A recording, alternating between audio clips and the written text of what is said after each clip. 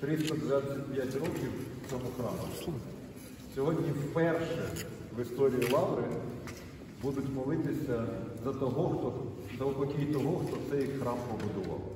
Все, що ви побачите найкрасивіше сьогодні в Києві, все, що в стилі українського барокко, це мазепинське барокко. Перебудована Софія Київська зовні.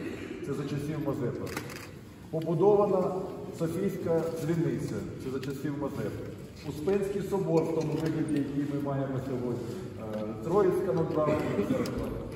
І ми з вами зараз в тому храмі, який побудований за часів е, Мазепи. Але цю людину, найбільшого мецената Української церкви, російська церква придала анафемі.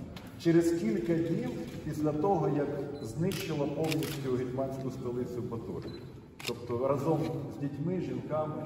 І ту анафему і сценарій, кажуть історики, взагалі писав Петро І. Так, тому, можливо, вона і відбувалася в такий дивний спосіб. Священники тримали якісь там обмазані дьогтям е, свічки, е, було пудало, яке палили. Тобто, але цю анафему, окрім російської церкви, не визнавав ніколи ніхто. Через рік після цього Мазепа причащався і його відспівували священники Константинопольського патріархату. Владикується наша блаженніша митрополита Епіфанія, за братів наших священиків, священомонахів і за все Христі братство наше.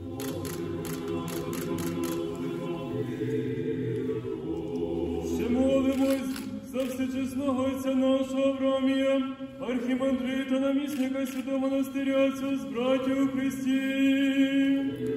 Ще молимось за побережену Україну нашу, за воду народ народи, щоб тихе і мирне життя прожили всяко благочесті і чистоті.